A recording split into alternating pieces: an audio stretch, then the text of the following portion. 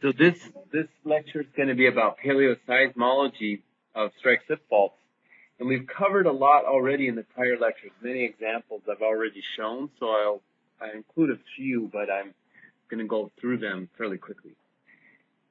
So the main places we find strike slip faults are various transforms. So obviously oceanic transforms, but the alpine fault is a connection of two subduction zones that have opposite dip right? Actually, it goes like Hikurangi and like this. Uh, and then there's continental extrusion or indent linked faults, so like the North Anatolian fault or the Altyn Tagh, I've talked about a few times. There's trench parallel strike slip faults. One of the most famous is the Great Sumatran Fault. And then sometimes the edges of, great, of big landslides will have the strike slip as you go from, you know, the slide to the stable zone on the other side, there, there has to be horizontal motion between them, right? So one of the things about strike slip faults that usually they're, uh, you know, we think of them as mostly having horizontal motion, but they can have some complexity along strike as well as down dip that makes for more uh, complex rupture patterns, which we may exploit at times to um, get a good record of earthquake timing because if the ground is opened up in many places that lets us have a good record. Also, in a place like this, it's a, a would be a depression, so it might be a good target for fault-related sedimentation. You can have this uh, another discontinuity, which would be more of a left step or more contractional setting, and we might have lots of a reverse fault deformation in there. So slip faults are, you know, just like every fault has some discontinuities and we can work with these discontinuities to help us at times when we're trenching. So uh, there's many well-studied historical strike slip fault ruptures. And I showed, for example, remember this uh, Denali rupture. I talked about that one. I've talked about Landers. Um, we talked a little bit about the Izmit earthquake when we did uh, uh, Coulomb, but and that whole sequence, and then 1857 is a famous uh, earthquake that we talked about a little bit. Still, also more. There were these uh, earthquakes of Bulnai. I showed the Fuyun earthquake. Remember this uh, example for uh, kind of characteristic behavior came from there. A new paper, actually, this was written before this occurred. So I've discussed already the rupture map from the 1906 earthquake. So we see a very long rupture, 300 kilometers, and the peak offsets of about eight meters, and this kind of irregular uh, slip distribution, not quite symmetric, and what remember was distinctive about the Denali rupture is that the Denali fault itself continues here, but this earthquake stepped to an adjacent subparallel fault when it ruptured. So this is another problem for segmentation is we didn't expect that step to occur. We would have planned for the ruptured step here on Denali fault. So that was unusual. So act, active fault traces is kind of the famous picture of strike slip fault zones where we have offset stream channels, small ridges along the fault, secondary traces. And I wrote a paper a few years ago just comparing different kinds of mapping along a piece of the San Andreas fault. So this is just shows uh, kind of USGS mapping from more aerial photography in the field. And then this was one of my students and I mapping only in the field. And this is another student, Zielke, only mapping in the office. He never went there. And so, we, but on LiDAR. And so just trying to compare, you know, how well can we, what do we get with different data sets and different approaches? So he, he did, Olaf whoops, did pretty well with the mapping, but, uh, you know, he had some of these secondary features that he questioned, and you know, I agree there's something here, but when we were in the field, we, you know, we just really worked on the main trace and this little step over zone, and these are landslides, this brown here, uh, and then we had a trench site here that we worked on, and then this was USGS mapping from 30 years earlier, and they identify some of, they name some of these features. So swale is kind of like a low sort of trough along the fault zone, small scarps that are aligned, uh, so on. So um, this was just uh, kind of comparing different styles of mapping. So we've already seen this one. This is, uh, you know, a lot of thinking has gone into how to do large scale geomorphic offsets. I also showed the Wallace Creek example.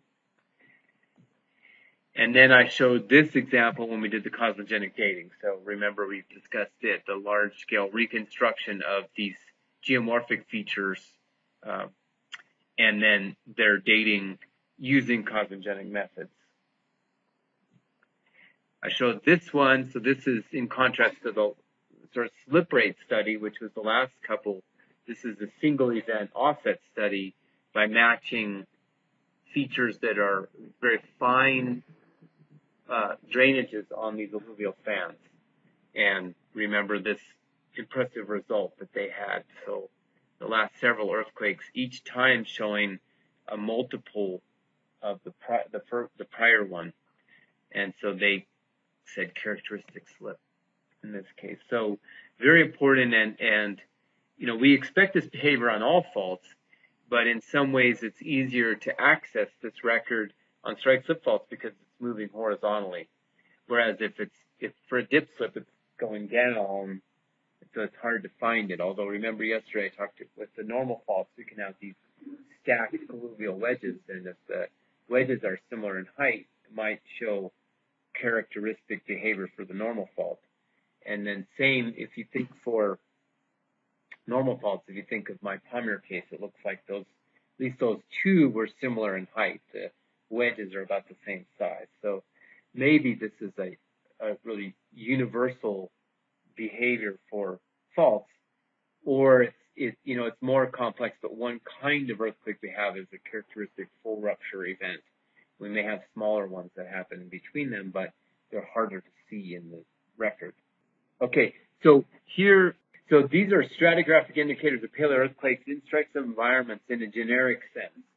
So this is what we're looking for. When you say, okay, so what are we supposed to do when we're looking for earthquakes? This is it. So you see almost every time it's an unconformity. So here, for example, the E always means earthquake. So here there was some earthquake that caused this offset and then it was buried. And so this is upward termination. The most common evidence, but you'll see in the next slide, it's not always definitive because sometimes the faults will terminate at shallow, below the ground surface. They, they just stop at some interface.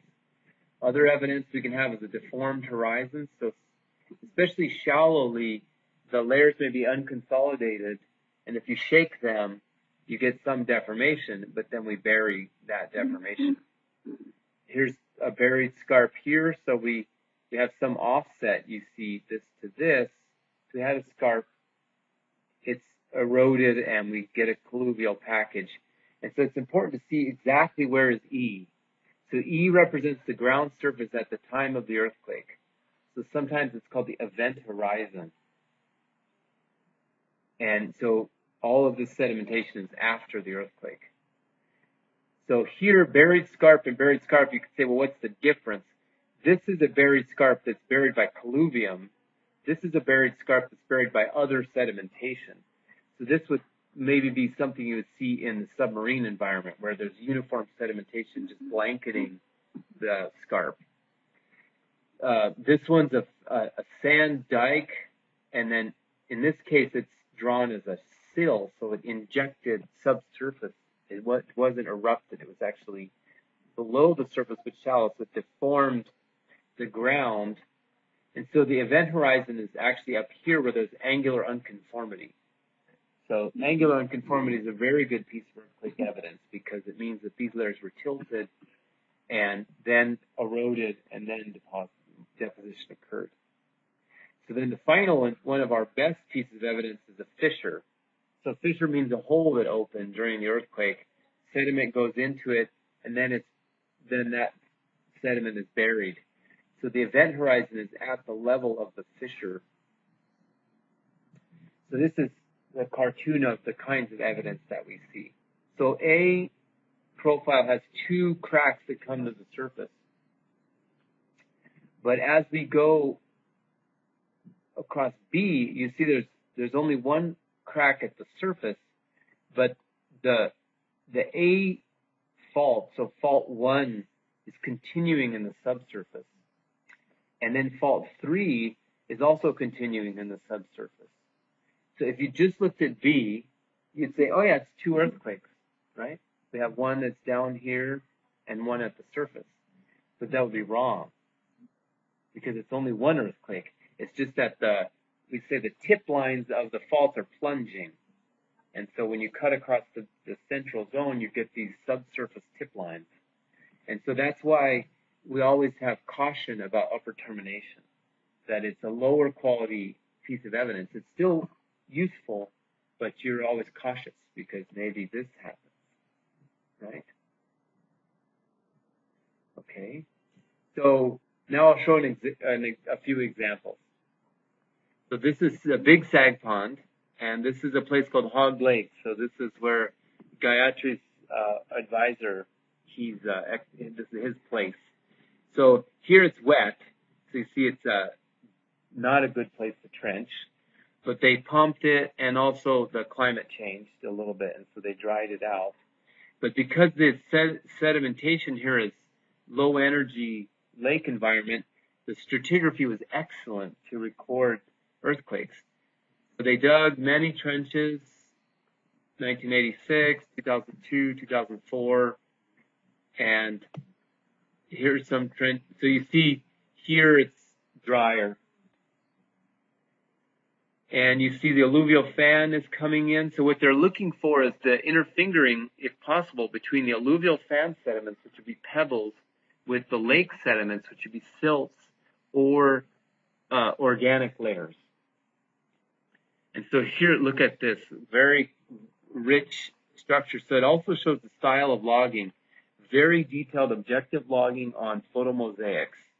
And so, so, uh, this one, it's, it's amazing. It took like many people five years to do this project. At least five, but I know, uh, you know, maybe five or six people worked over those five years. So lots of labor. And, and then, you know, Rockwell, he was the boss. But uh, every one of these little yellow things is an earthquake level. So if you look, we'll look in detail at a few of them, but for example, this E6, you can see this unconformity over this complex deformation, right?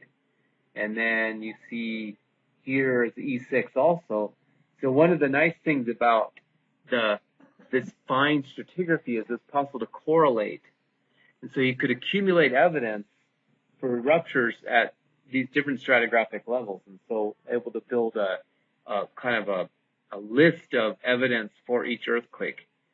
Here's a deep kind of a fissure and unconformity, but this is obviously younger than these. So going on and on, here's a maybe one where we can start. You see E1 is breaks the surface, probably the most recent earthquake. E2 is somehow going across and breaks this layer, but then does not appear to break this one. Then you see E3, I think he's showing as a, a change in thickness. This fold occurred in E3, but then these layers are onlapping. And so, you know, this layer is not as folded as this one. But then the layer was folded in E2, so there's some folding there.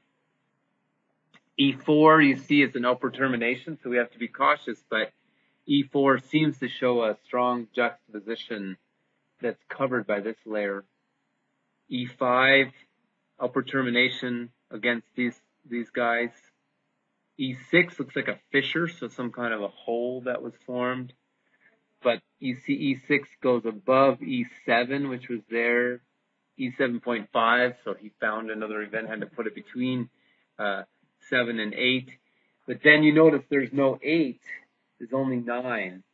So it's because E8 evidence is somewhere else in the exposures, but he built a complete stratigraphic model for the site. And so you could find, oh yeah, E8 comes over and it's between these layers and you notice the layer numbering 225, 204, 200. So he has a very rich stratigraphic correlation across the site and so on. So that's this one. Here's a, now remember we talked about benching. Remember Jessica's asking about benching. So here's a, a 2002 was shallow, and then they dug deeper in 2004. So this is a, uh, let's see, this is a meter right here. So, so this is one, two, three, four, like a five meter deep record, but it took, took a bench, actually two years. So they dug this,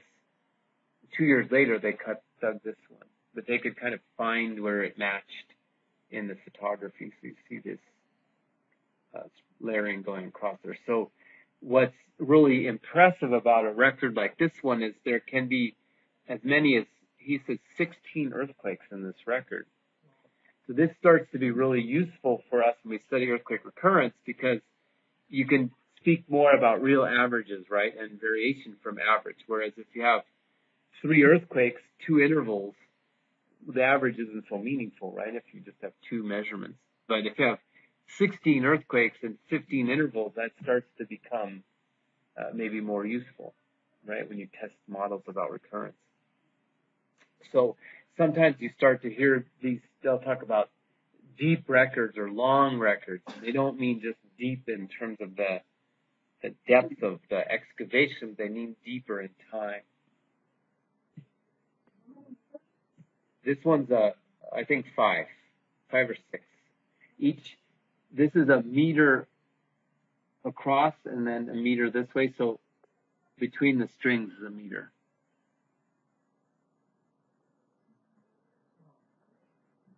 Hmm? Yeah, each picture is a, is a half meter tall by a meter wide. So this, the grids are one meter by one meter. Okay. So we need to find one of these here, right? Somewhere. Let's keep looking. Because of the lake. You know, and it's a good place because it's not bioturbated, so there's enough water keeps the animals out, and there wasn't that much vegetation to have roots to destroy the stratigraphy either. So, so that's a, a, a timing story. So 16 earthquakes, but you don't have any idea really of the amount of slip in each earthquake. We just know it's ground deformation, right? So that's key problem for many studies is we don't know slip per event. But slip per event for 16 earthquakes is quite difficult. Although you saw from sometimes the geomorphology, we can get a sequence from the land surface, but at depth it's difficult. But here's a subsurface study where they tracked a single channel. So this is a map and the channel comes in to this fault zone and it's offset once, then again to here, and again to there, to there, to there, and then it doesn't appear in T3. I don't know where it went. Um, so, so they, and here's what it looks like from the air. They used a balloon to take a picture of this site. So they're basically this is called 3D trenching. So you're trying to find a feature that's buried like a channel and track it across the site. And so here's the reconstruction. So they were they took the offset sequence and they they flipped it back and so they get 8.7 meters of offset on this channel. So then if you know the age of the channel, you get a slip rate. It's not saying how many earthquakes are there, however. It just says offset. cumulative offset, multiple earthquakes probably. But it shows the strategy. So this is a much more complex uh, trenching project because you need to have multiple trenches and you're you're really tracking this feature. So you're looking for the channel bottom, let's say in, in the walls on either side. And so usually you'll do uh, lots of survey. So we'll survey the in 3D each time you encounter the channel. You can track it. So for example, in July, Gayatri and I will go to California to do a study like this. And we'll, we'll dig. You see here, it was, uh, you know, one wall, two wall, three wall, and then a gap to here.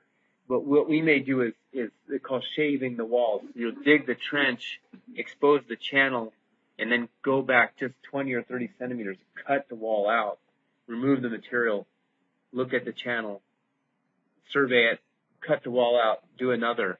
So you progressively expose the channel in these slices. And then you can track it across.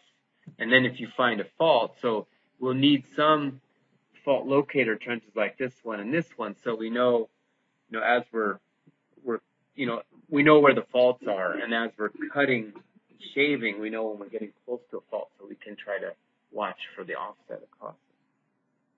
So 3D trenching is a powerful tool, but usually quite a labor intensive. Here was uh, the outcome of a detailed study and here's what their trench logs look like. So this is a place called Wrightwood. It's on the San Andreas Fault uh, here, so near Los Angeles, and it's a place where the rec- the earthquake record is really uh, another one of these really long, deep time records, but they also have a sense of what the slip was in each earthquake based on a reconstruction of the the deformation of these blocks that they they're cutting. So they spent many years. This is probably a 15 year project, and several people working every year for many years and doing their PhDs. So this is Scharer. She's a USGS scientist now, but her PhD was on this site, and so you can see here. Um, I'll show, we'll look at this this afternoon. You can see one event. You see this offset there comes and there's no evidence there, so it's just buried here. And then if you look at this black, it looks like there's more offset than the gray, so it's probably an earthquake between there. Here's an offset. Look at this black under the gray, so there's an event there. So they basically did many, many studies. So I'm just showing, and many trenches. That's uh, trench 35. So they may have um, obviously at least 35 trenches. And sometimes, so the the boss of this project is named Weldon, Ray Weldon, and he uh, I call the Weldon rule, and he says it's you have to have at least one trench per earthquake. So, so if you want, you know, you have uh, three or four earthquakes, you need to have three or four trenches. And his point is that you want to have lots of evidence. And so you keep checking and checking. And if you, you have a trench design where you have one trench and then a connector and another, you can track the stratigraphy around. You basically expose lots of surface area and you can build your evidence. So they have at least 35 trenches, but they have um, not so not as many earthquakes. They maybe have uh, 15 or so earthquakes. I forget how many, but they have lots of redundancy in their observations. So they're very uh, well characterized, and so they can color code the earthquakes by the quality. So is it an exceptional earthquake or average or below average? And then these red, these these curves actually come from OxCal. So remember when we did our exercise and we were computing the probability distribution of the age of the earthquake. So you, so what they don't show here is all the radiocarbon dates that went into this. And so they're just showing the constrained dates of each earthquake. Okay. So what this shows is that the ages of the events and their quality. So they know two historic earthquakes and then they have these other guys going back And then they have this gap in their stratigraphy that causes problems for them. And all they know is there's probably about five earthquakes in there. And then they have a deep section that, you know, starting 3,500 years ago, so 1500 BC, there's another good section. So, but with this sequence to have a really an earthquake time series, and so here's, for example, their stratigraphy, their age model. So they have many, many dates, and so you can imagine this is a very complex OxCal model, but really rich.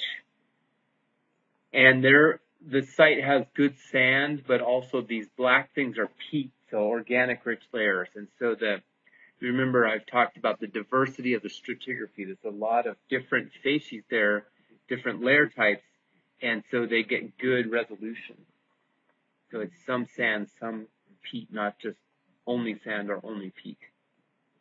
And so here's what they, this might be easier to look here.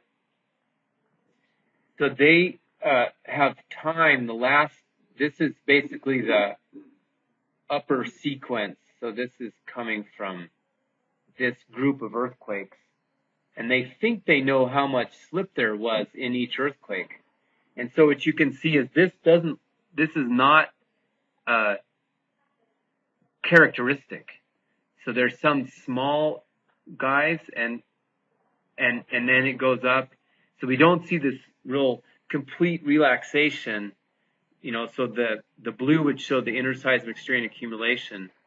And instead of a simple model where you, you accumulate the strain and then you release it back down to zero, and then you go back up to another one. So simple models. This one's complex where we have, you know, small earthquake, we accumulate some strain, another small earthquake that doesn't relax everything that's accumulated, then a series of bigger ones that really burn up that and then we start to accumulate again. So this kind of shows us probably more realistic how earthquake sequences are instead of our simple models.